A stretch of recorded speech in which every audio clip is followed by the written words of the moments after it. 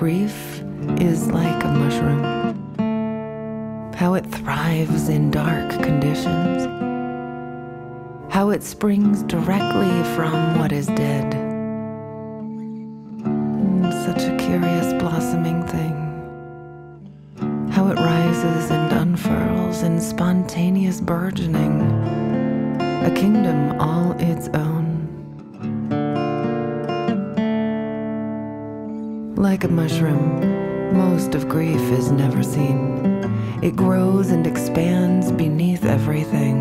Sometimes it stays dormant for years.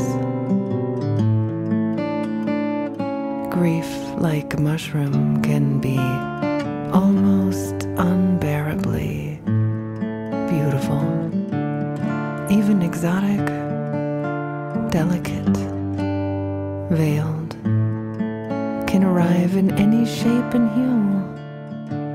It pulls me closer in.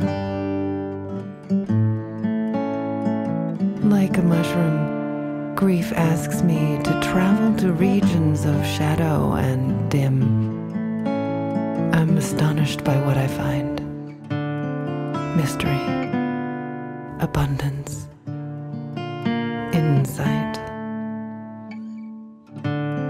Like a mushroom, grief can be wildly generative.